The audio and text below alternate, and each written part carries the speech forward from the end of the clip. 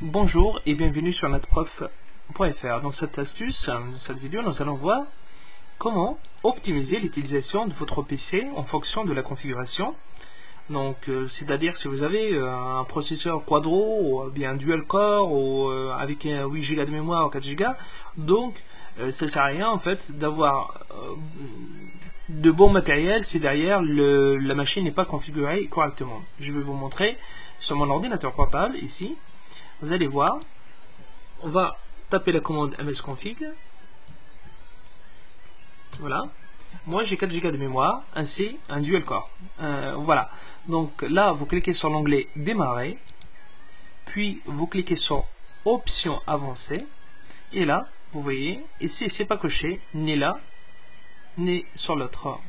Alors, là, on va cocher la case nombre de processeurs, on va mettre 2 c'est mon cas. Et puis, au niveau de la mémoire, vous mettez le maximum. Donc, dans mon cas, c'est bien 4 Go de mémoire. Ensuite, valider par la touche OK. Ensuite, appliquer. Et puis sur OK.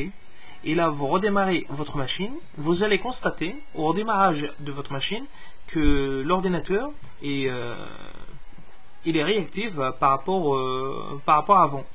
Et vous allez voir, quand vous faites euh, les jeux ou l'acquisition vidéo, c'est réactif contrairement à avant. Voilà, je vous dis à très bientôt sur letprof.fr. Au revoir.